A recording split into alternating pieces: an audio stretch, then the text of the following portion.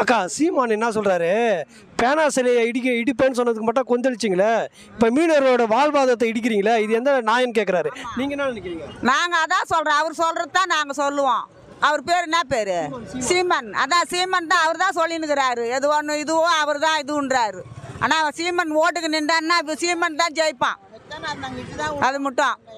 சீமன் தான் வருவான். ஓட்டுக்குன்னு நின்றான்னாக்கா அவனுக்கு தான் ஓட்டு விழுவோம் இவனுங்க வர்ற அரசியலுங்களா இவனுங்களாம் அவன் அவனுங்க சுற்றி எடுத்துன்னு போகிறானுங்க எவன் இருந்து பொறுப்பாக பார்க்குறான் சொல்லு பார்க்கலாம் ஒரு ஆட்சின்னு அமைக்கிறானுங்க. அந்த ஆட்சியில் வந்து ஒரு பொறுப்பாக எதனா நின்று எதனா செய்கிறானுங்க எதையும் செய்ய மாட்றானுங்க. ஆட்சி வர்ற வரைக்கும் அஞ்சு வருஷம் ஆண்டு நான் எடுத்துன்னு போயிடுறேன்னு போயிடுறானுங்க அப்புறம் இங்கே வந்து எதையுமே செய்ய மாட்றானுங்க. இங்கே நாங்கள் தான் இங்கே மாறுறோம் இந்த நாளைக்கு கடையே போட எத்தனை நாளாக இருந்தால் கடையே போடக்கூடாதான். நாங்கள் எப்படி சாப்பிட்றது? எங்கே போகிறது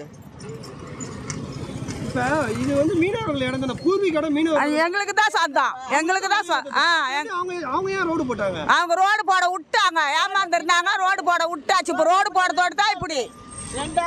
ரெண்டு ஹவர் ஸ்கூல் பசங்க போக வர வண்டிக்கு கேட்டாங்க. ஆ அதுக்கு தான் ரெண்டு ஹவர் மத்தியானமும் சாயந்தரமும். எங்களுக்கு ரெண்டு அவரும் கேட்டால் போ விட்டா போதும் ரோடு. நாங்கள் அவ்வளோதான் ஆனாங்க இப்போ எல்லாமே இந்த பக்கமும் போக்குவரத்து இந்த பக்கமும் போக்குவரத்து யார் வந்தாலும் இப்படியே போவாங்களா இப்படியே வருவாங்களா? இந்த இங்கே கவுச்சி நாத்தம் நாருது நீங்கள் நொச்சுக்குத்தில் நீங்கள் மீன் விற்காதீங்க நீங்கள் எதுவும் போடாதீங்க. நாங்கள் உள்ளே எடுத்துன்னு போய் கொசியில் இல்லை நாங்கள் உள்ளே போட முடியுமா?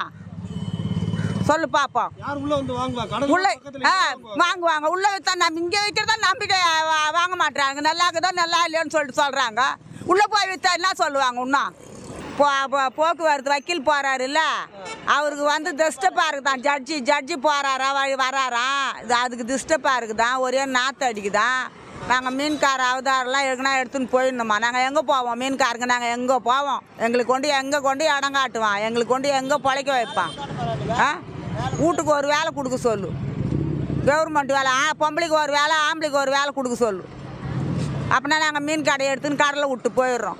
நாங்கள் கடலை விட்டா எங்களுக்கு வேறு என்ன தெரியும்? இந்த மீனை விட்டா வேறு என்ன தெரியும்? மற்ற ஜாதிங்கன்னா தெரியும். எல்லாம் எந்த வேலைனா போய் செய்யுங்க. எங்களுக்கு எந்த வேலையும் செய்ய தெரியாது. எதுக்கு நாங்கள் வந்து எடுக்கணும்?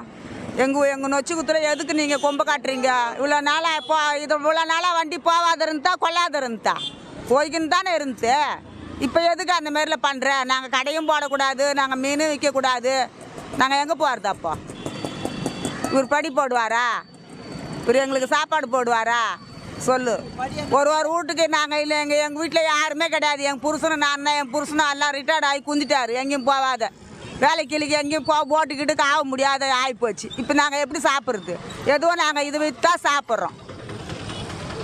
இது இல்லைன்னா நாங்கள் எப்படி போவோம்? யார்கிட்ட போவோம் நாங்கள் அரசாங்கத்துக்கிட்ட வந்து கட்டா சோறா போடுவாங்க எங்களுக்கு. சொல்லு பார்ப்போம் சீ- சீமான் என்ன சொல்றாரு? பேனான் சிலையை உடைப்பேன்னு சொன்னது மட்டும் கொந்தளிச்சிங்களே. இப்போ மீனவரோட வாழ்வாதாரத்தை மட்டும் இடிக்கிறீங்களே இது நியாயமான்னு கேட்குறாரு ஆமாப்பா. அவர் கேட்குறது நியாயம். பேனா உடைக்கிறது மட்டும் அது அவர் கோ அவங்க கோவப்படுறேன்னா இப்போ எங்களோட வாழ்ற இதுவே பண்ணுறாங்கன்னா அப்போ எங்களுக்கு எப்படி இருக்கும்? ஒரு குடும்பமா ரெண்டு குடும்பமா? இதில் இருக்குது சொல்ல முடியாத குடும்பம் இங்கே இருக்குது. அது அந்த அந்த குடும்பம்லாம் பாதிக்கப்படுதில்லப்பா எவ்வளோ பாதிக்கப்படுது? எவ்வளோ அப்படி த- அள்ளும் போது இப்போ மூணு நாளைக்கு திருப்பி கடை போடக்கூடாதுன்றாங்க வலை தள்ளக்கூடாதுன்றாங்க யார் தருவா? இல்லை அந்த கச்சாளுங்களை வந்து தருவாங்க இல்லை கவர்மெண்ட் எங்களுக்கு எதனா கொடுக்குதா சலுகை பண்ணுதா? இல்லை வீட்டுக்கு ஒரு ஆள் வந்து வேலை வைக்கிறாங்களா? எதுவுமே இல்லை இல்லை. அதாவது கஷ்டப்பட்டு அதாவது பொழைச்சி அதாவது கடலுக்கு போனாதான்பா. அதாவது பிழைக்க வைக்கிறது? பொம்பளைங்க திறமையாக இருக்கணும் அதுவும். பொம்பளைங்க திறமை இல்லைன்னா குடிக்கிற ஆம்பளைங்கெல்லாம் குடிச்சிட்டா அந்த பிள்ளைங்களை எப்படி படிக்க வைக்குது? அதுங்களை எப்படி மின்னுக்கு கொண்டு வர்றது? முப்பத்துக்கு வந்து ரொம்ப க ரொம்ப பார்க்குதுங்க இப்போ. மீன்கார் கூட ரொம்ப பார்க்குதுங்க பிள்ளைங்க நல்லா வரணும் நல்லா ஒரு ஆஃபீஸ்க்கு போகணும் நல்ல முறையாக வரணும். எதை எங்கே பண்ண விட்றாங்க? இந்த கவர்மெண்ட் ரொம்ப பண்ணுறாங்கப்பா இந்த டார்ச்சல் ரொம்ப டார்ச்சல் கொடுத்துனே இருக்கிறாங்க என்ன பண்ணுறது அண்ணா வணக்கண்ணே. சீமான் அண்ணா அவர் இப்போ என்ன சொல்லியிருக்காருன்னா இந்த பிரச்சனைக்கு பேனா சிலை வைக்கும் போது நான் இடிப்பேன்னு சொன்னேன். அதுக்கு நீங்கள் கொந்தளிச்சிங்களே. இப்போ மீனவர் மீனவர்களுடைய வாழ்தா வாழ்வாதாரத்தை நீங்கள் இடிக்கிறீங்களே. இது எந்த விதத்தில் நியாயம்? அப்படின்னு சொல்லி கேட்குறாரு இதை பற்றி நீங்கள் என்ன நினைக்கிறீங்க? ஆனால் நான் என்னோட தனிப்பட்ட முறையிலேருந்து பேசலை. நான் மொத்த ஒத்துமொட்ட மீனவரோட சமுதாயத்தை சார்ந்து தான் பேசுகிறேன் சீமானண்ணன் பேசுனதில் இதுவரையும் எத்தனோ தலைவர் இருக்காங்க. யாருமே இதுவரையும் ஒரு வார்த்தை கூட இந்த மாதிரி இருக்குது இந்த மாதிரி மீனவரோட வாழ்வாதாரம் அழியுது அந்த மாதிரி பேசவே இல்லை. அண்ணன் பேசுனது எங்கள் எல்லாரோட மனசுலையும் ஒரு நல்ல ஒரு அதிருப்தி ஏற்பட்டிருக்குது அது போல் எல்லாருமே சப்போர்ட் பண்ணோம். ஆனால் சப்போர்ட் பண்ண மாட்டாங்க. ஒரே கேள்வி எங்கேருந்து வரேன்னா அண்ணன் சீமான் கிட்ட இருந்து மட்டும்தான். என்னை பொறுத்தவரை என் நண்பர்கள் எல்லாருக்கையுமே அண்ணனுக்கு தான் அடுத்த ஓட்டு போடணும்னு சொல்லிட்டு நான் சொல்லுவேன். இப்போ எதனால இதெல்லாம் எடுக்கணும்னு நினைக்கிறாங்க என்ன பிரச்சனை? பிரச்சனை என்னென்னா இது நாங்கள் காலங்காலமாக வாழ்ந்த இடம்.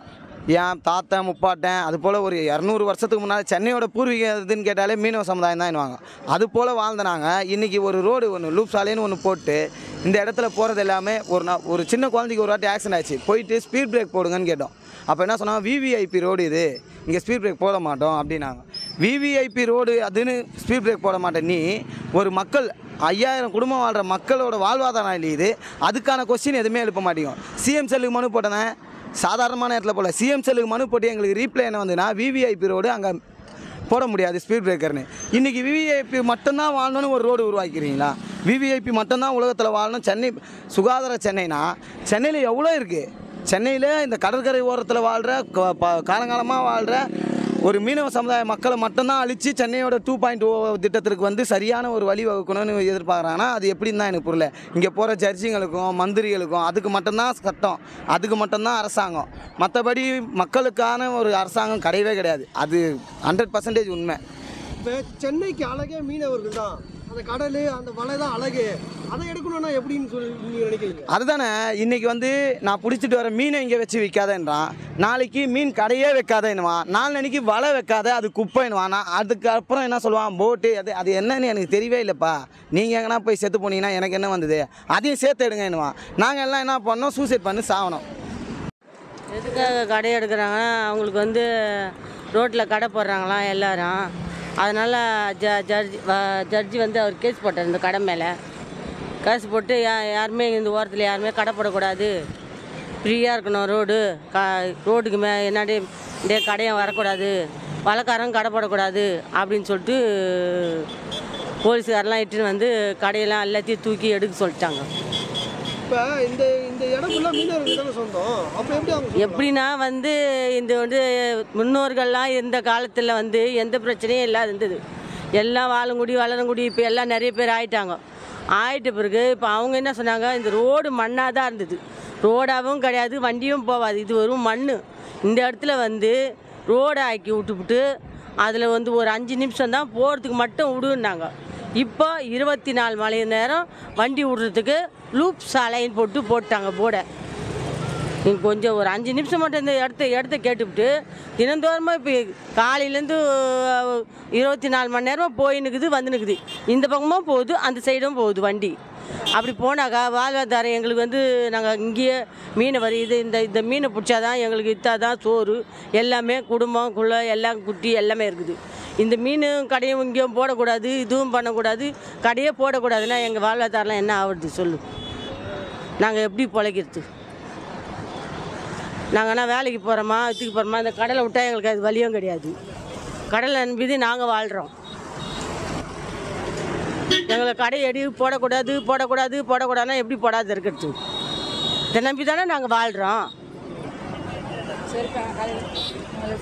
காலையில் கடை போடுற நேரத்தில் வலைக்கு போயிட்டு வந்த ஆம்பளே லேடிஸு லேடிஸ் பொம்பளை மீன்காரை அடிச்சிட்டுச்சு மீனை தூக்கி மேலேயே கொட்டிகிட்டு இருக்கிறாங்க. அது எவ்வளோ பெரிய தப்பு இது? காலையிலேருந்து உயிருக்கு மயிரமாக போயிட்டு வந்து அதுங்க பிழைக்குது. அதுங்களுக்கு ஒரு ஐம்பது ரூபா கிடைக்குது நூறுரூவா கிடைக்குதுன்னு இல்லாத அதை எடுத்துகிட்டு வந்து இங்கே விற்க பாவம். இந்த போலீஸ் எல்லாம் போட்டு இப்படி போட்டு பிழைக்க முடியாத அளவுக்கு பண்ணி இந்த ஊரில் நொச்சி குத்தலை. ரொம்ப அநியாயம் பண்ணுறாங்கப்பா போகும்போது வரும்போது ரோடு யாரும் ஒரு குழந்தை இப்படி தாண்ட முடியல. அப்படி போக முடியல. அப்படி இருந்தோம் நாங்கள் கடை போட்டு விற்றுன்னு உட்காந்துன்னு இருக்கிற போது ரொம்ப தொல்லை பண்ணுறாங்க ரொம்ப டார்ச்சர் கொடுக்குறாங்க. இப்போ பாருங்கள் போலீஸ் ஃபுல்லாக போலீஸ் போட்டு வச்சிருது. இந்த கடை ஒரு பத்தாயிரரூபா மீன் வாங்கினா அப்படியே கிடையாது இதெல்லாம் எப்படி நாங்கள் எப்படி வாழ்கிறது எப்படி பிழைக்கிறது? சொல்லு. என்றைக்கு இந்த வீடு என்னைக்கு இந்த குடிசைப்பதி இருந்தது அந்த குடிசைப்பதி எடுத்துகிட்டு இந்த ஹவுசிங் போட்டு கட்டினாங்களே அதுலேருந்தே ஒன்று ஒன்றா ஒன்று ஒன்றா ஒன்று ஒன்றா வருது. இது யா- ஆண்ட இடம் இது. இது தலைமுறை த தத்துவம் தானே வரும். இது வந்து இதை செய்யக்கூடாது அது செய்யக்கூடாதுன்னா மீன்காரர் எங்கே போவாங்க? மீன்காரர் எந்த தொழிலை விட்டா வேறு தொழிலே தெரியாது. ஆனால் மற்ற தொ- மற்ற பேர் நான் தப்பாக நான் சொல்கிறேன்னு நினைக்காதீங்க. மற்றவங்க அந்தாண்ட போனால் கூட எப்படியோ பிழைக்கிறாங்க. ஆனால் மீன்காரங்க எங்கே போனாலும் பிழைக்க முடியாது. இந்த கடலை தவற வச்சு எதுவுமே பிழைக்க முடியாது. ரொம்ப டார்ச்சர் கொடுக்குறாங்கப்பா இந்த வழியில் இந்த ரோடு அதுக்கு முன்னாடி இந்த ரோடே கிடையாது.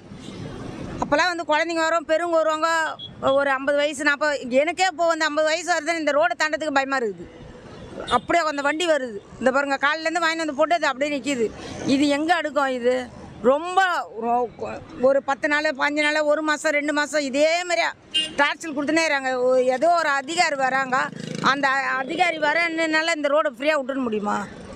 அப்போ நாங்கள் மீன்காரெலாம் எங்கே போகிறது சொல்லு எல்லாம் வீட்டுக்கு வந்து ஹவுசிங் போர்டு ஓ ஓலை வீடு எடுத்துகிட்டு இந்த ஹவுசிங் போர்டு கட்டினாங்க. ஒரு ஒரு வீடு ஒரு ஒரு பிள்ளைகளுக்கு நாலு ஒரு வீட்டில் நாலு பிள்ளை அஞ்சு பிள்ளை இருக்குது. அவங்களாம் எங்கே போய் சாவாங்க? இப்போ நேற்று சீமான் இருக்கார்ல அவரு ஹவுசிங் போர்டில் நில மீனவர்கிட்ட வந்து நிலம் வாங்கி அந்த மீனவ குடும்பங்களுக்கே வீடு கொடுங்க. மற்றவங்களுக்கு ஏன் கொடுக்குறீங்கன்னு சொல்லிட்டு நேற்று அறிக்கை சொல்லியிருக்காரு. அதை பற்றி என்ன நினைக்கிறீங்க? அதை பற்றி கொடுத்தா எங்களுக்கு கவலையே இல்லை. மீனவர்களுக்கு கொடுத்தா பரவாயில்லையே. ஒரு வீட்டில் நாலு பிள்ளை மூணு பிள்ளை அப்படி இருக்குது. அது மாதிரி மீன்காரங்களுக்கு கொடு. ஏன் நெடுக்க இருக்கிறவங்கள நொச்சி குத்தில் பாருங்க. நொச்சி குத்தில் எத்தனை பிள்ளை இருக்குதா? இப்போ ஒரு வீட்டுக்கு ஒரு ஹவுசிங் போடுன்னு அப்போ இடிச்சிட்டு கட்டினீங்க. இப்போ கட்டிட்டு நாலு பிள்ளை இருக்குதா? கேளு அந்த வீட்டில் எத்தனை பிள்ளை இருக்குது? இப்போ நாலு பிள்ளைனாக்கா நாலு பிள்ளைங்கள கல்யாணம் ஆச்சு காய்ச்சி ஆச்சுன்னா அதெல்லாம் எங்கேருந்து போகும் ஒரு வீட்டில் ஹவுசிங் போடல பத்துமா? ஒரு தாய் தாப்படுறாங்க அப்புறம் கல்யாணம் ஆச்சுன்னா அதுங்களுக்கு கொலையா குழந்தை ஆகும் அப்புறம் கல்யாணம் ஆகாத புள்ள இருக்குது. அதெல்லாம் எங்கே போவோம்?